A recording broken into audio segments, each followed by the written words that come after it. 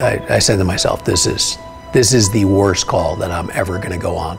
This is this is the, the, the worst thing that I'm ever going to see. I hope they're not dead. Dead. If anything, I hope they're still alive. The next thing that I recall was um, seeing the ground coming at me and uh, you know, thinking that, knowing that I was going to die.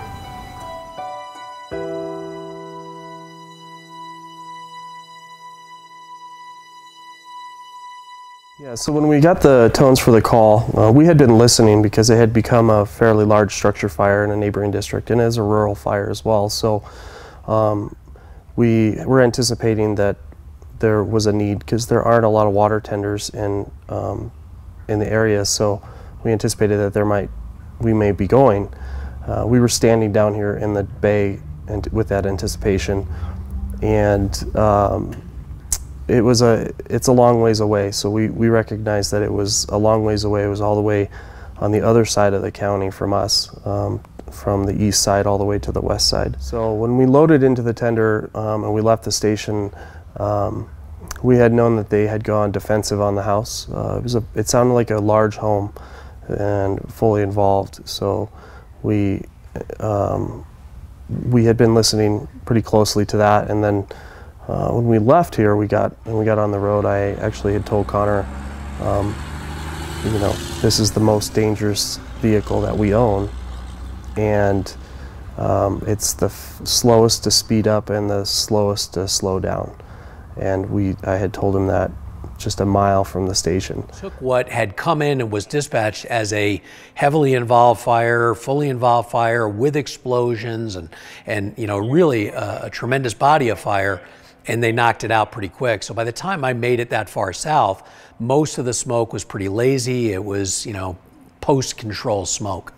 We got concerned that we were not going the right way because this is such a large fire um, and there's so many resources on it that we hadn't seen any smoke. We couldn't see a smoke plume and it's a crystal clear blue sky day. Um, and um, I, the descent down Wolfensberger toward 105 is a fairly um, steep hill. I've, I've heard seven or eight percent grade.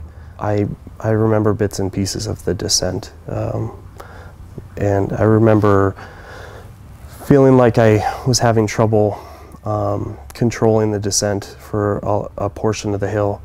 And then um, the, one of the clearest th two things that I remember. Uh, the first was we came around a blind corner, and there was the T in the road um, at where Wolfensberger meets Jackson 105 um, uh, or Highway 105, and and that was my heart sank. Um, I knew we were not going to stop at that moment, and I prefaced that to Connor. I said, "We're in trouble.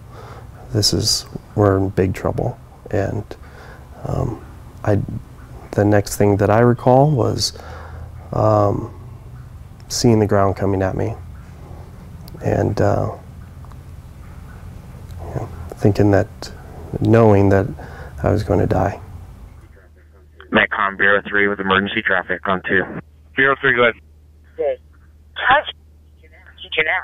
I'm on scene of a fire apparatus rollover. My location on the MDT, I'm not exactly exactly sure my location at this point. Bureau 3, I copy. I got you on scene. Looks like Highway 105 in Wolfensberger for a fire apparatus rollover. We'll start crews that way. You can confirm on injuries. Metcom Bureau 3.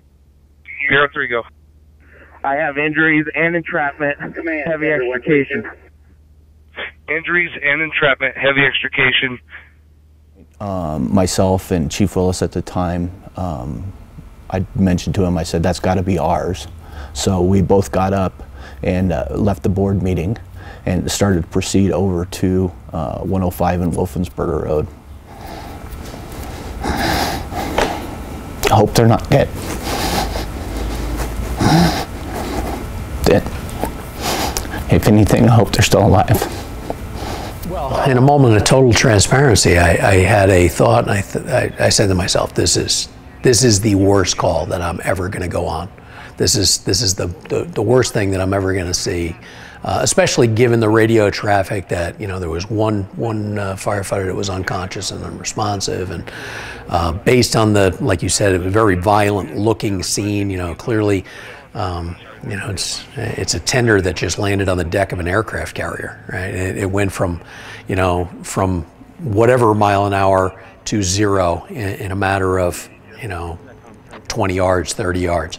So it was it was a pretty big impact. Um, it's just you, you see, you know, as, as I come up, all I remember is just a darkness uh, around. It was starting to get to be sunset, and uh, just with the lights and the illumination of the, the truck that's flipped over on its side, um, the rescuers that are, are, are standing out there. Um, you know, the radio traffic said is still stating that they're reporting two critical pinned in the truck. I just went up and kind of stood next to Josh, who was who was the one that was kind of pinned at the top of the truck, and held his hand because um, it was taken. It was complicated by um, being a heavier truck and trying to get everybody out, um, and just figured that um, having somebody there that they knew talking to them um, was was going to help at that point in time. Uh, trying to, to absolutely stand out of the way of of everything going on, but you know, being next to them and making sure that you know, and reassuring them that we're going to contact his wife and all those kind of things that somebody knows. A white helmet had come over top of us and was talking to me and maybe holding my hand. Um, I remember being completely trapped in the vehicle and I had been trying to fight it, but um, and I, I couldn't tell if I was bleeding badly or if it was water from the tender that was falling on me um, uh, and running off of me, but I, um, I, I, just don't remember a lot of the incident. I, I do recall at one point that Chief Woodrick had arrived and, um, and climbed in and, um, and was talking to me briefly during the extrication we all want to do the exact same thing at this call. We all want to be at the end of a cutter or a spreader and, and be there to cut our brothers out. Um, but someone has to land a chopper. Someone has to pull a, a, a you know a safety line off of the engine. Uh, all of those other the, those other pieces are as important as operating the cutters and spreaders, and that restraint is is vital. And, and it's one of the things that I think uh, to a person, we did a great job with this. Everyone, you know, really maintained control of their emotions and and and did their job, and they they stayed within their lane. We still have uh, all of Franktown's crews back at Station One, uh, Josh's shift, uh, that were aware of the accident right now. That have no idea what's going on, the severity, um, trying to make sure that we could come back and make sure that they're capable to continue to respond and be ready. Um, getting somebody headed to um, pick up his wife, um, alert Connor's mom of an accident and notifying family. State Patrol determined that the, the posted speed limit at, at that area was 45 miles an hour. Our vehicle was traveling 39 at the top of the hill when he started down. Josh has probably over 300 hours of driver operator training, 50 involving uh, either a tender or an engine that is involved with air brake systems. So it's not from a lack of experience. Could we still continue to do better? Absolutely, but we were doing everything that NFPA, the state of Colorado, uh, they, they go through the testing, the, the, the courses, the road courses, to uh, EVOC uh, trainings to make sure that we were doing that. So, you know, we thought that we were doing everything we could. The State Patrol kind of started to narrow it down to a few things. Um, driver unfamiliarity with the area. Um, this was a call that was responding over into West Douglas um, which is like two fire districts over. Um, so the familiarity with the roads that are over there um, complicates our drivers. You know, they're not sure of them. Um, this this road also has a very steep incline down to a, a stop sign in a, a T section or dead end road that uh, comes on it very quickly. Um, in fact, the uh, homeowner that where the accident occurred in his driveway had had multiple accidents in this field over the past years, one including a school bus. So, uh, with not a lot of road markings of the steep incline that it's coming down. Um, and then the, the uh, probably one of the bigger factors were out of the six brakes uh, adjustments on the trucks, three of them were out of adjustment. The average vehicle on the road is 3,000 pounds, and this is 75,000 pounds. It's 25 times heavier than your average vehicle. There's 3,300 gallons of water in the back. You know that that's 25,000 pounds just in water weight, and there's baffling in there, and it sloshes still, and it, you feel the sway. And they explained that it's important to uh, if you if you start to feel unstable that you just slow down um, because if we don't get there then what good are we and I learned that the hardest way. This tender actually gets a daily check uh, from the on-duty personnel at our volunteer stations. Uh, it's, it's at least a monthly check that all of them go through. Uh, following uh, what NFPA kind of outlines, um, we pulled the, the vehicle maintenance records in 2012. Uh, it went into and, and had the brake system completely gone through, uh, repaired, inspected, maintained by a third party shop. Um, we calculated an average that we only put 750 miles on these trucks a year. So from 2012 till the accident, the brake system only had 4,500 miles on it the standards. NFPA recommends per manufacturer's standards of frequency of checks.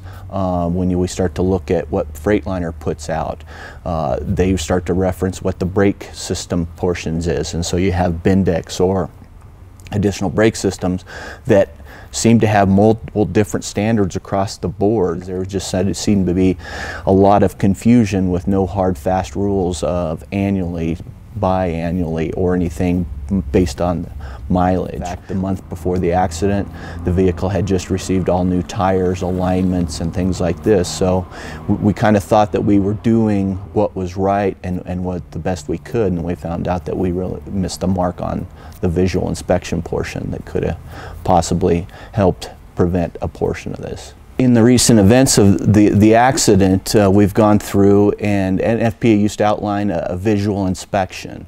Um, and I've been in the fire service for 27 years and, and spent five years as, as a driver operator uh, with a department that, that has extensive training but was never very good on what a visual inspection is. Um, and so we've adopted the, the DOT um, and we actually had a, a, fire mechanic come in and give all our personnel a class on what a vehicle inspection entails. Um, and it's about a 10 to 15 minute weekly check. Um, that we go thoroughly through the system, um, that they're underneath the vehicle visually checking the slack adjusters, the drums, and everything like this to, to ensure that everything is operational within limits. Um, it, it, gives these guys a, a, better, stronger knowledge of braking systems with, within this, um, and it's it's definitely made it a safer aspect. It's probably it doesn't necessarily going to prevent every accident, but it's going to make sure that the truck is equipped and be ready to stop as as quickly as it can. We we didn't know what we didn't know, and we've learned, and so. Um, I certainly don't want anyone to ever have to deal with this again. Learn from us that uh, it's something you don't want to go through, that you, you, you don't want to have to respond on anything like that. Um, in talking to other uh, chiefs and departments afterwards, it was, you know, we found out that one of our neighboring departments um, actually had a similar incident that their water truck had run off the end of the road um, and they had actually had instigated this uh, aspect of a more thorough brake check. Um, but um, and, and within their own departments, they're doing great. But if unless we make other departments known about it, um, you know, we're not doing our job of passing on these types of things to prevent the accidents. Um, and to try to give your your crews that are responding out there every uh, opportunity to be successful and, and arrive on scene of a, a call to, to do their jobs. I think about the impact that it had on the people that were there. Um, because it hit so close to home for a lot of the guys that we work with. This call affected me in a, in a big way. It, it was uh, when I drove away from this call, I was convinced this was the last call I was going on. It, you got to take care of yourself. And peer support, EAP, uh, clinical psychologists, uh, there's, there's so many resources out there. Uh, don't put on this big wall and say, I can handle it all, because I've handled it all for 30 some years um, you, you got to make sure that you really are uh, emptying that bucket of, of trauma and, and stuff that we see over the years.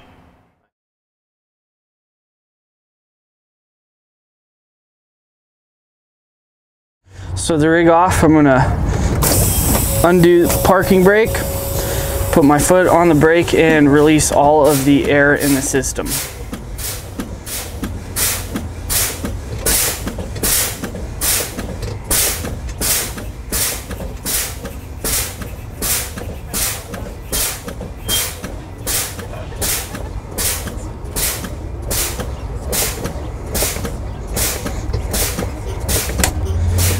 With that, I check to make sure that once I hit below 30, my parking brakes um, pop out and automatically apply. So now that I don't have any air in the system, I'm gonna turn on the rig, check the timing to see that it builds pressure in the appropriate amount of time.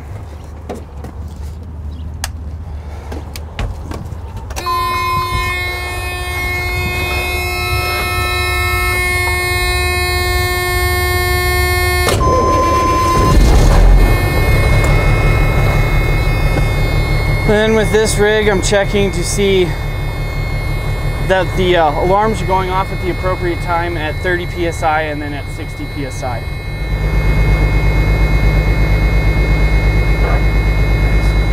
So next I'm going to inspect all of the brake drums themselves, the slack adjusters to make sure that there's no orange showing or red showing.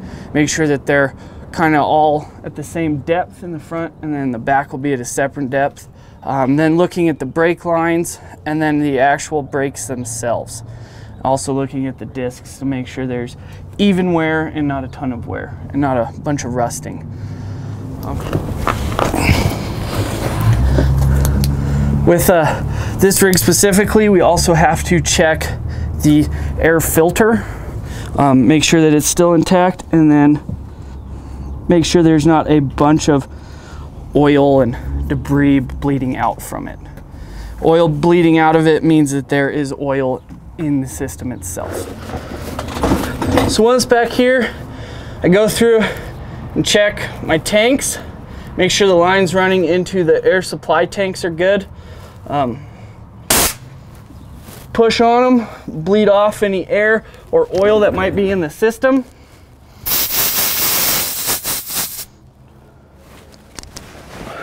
Um, and then I will move up to the two tanks further down the rig. Bleed a little bit of air and any moisture that is inside the tanks.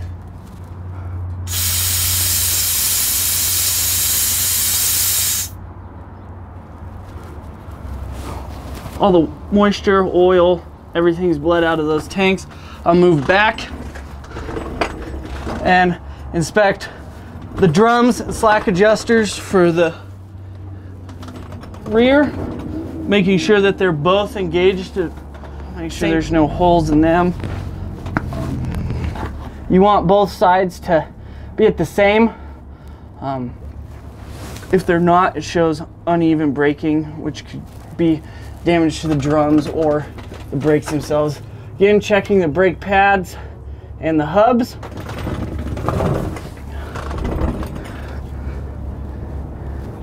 Then while I'm down here, also checking the leaf springs. Again, uh, checking drums, slack adjusters, hoses, also checking airbags because they do have airflow going to them. If they are causing a leak, it can cause a leak on the whole system. Here is your uh, slack adjusters. Um, once they are overextended, there, further down, there is an orange ring around them. So if the orange rings around the slack adjusters are showing, they need to be repaired or replaced.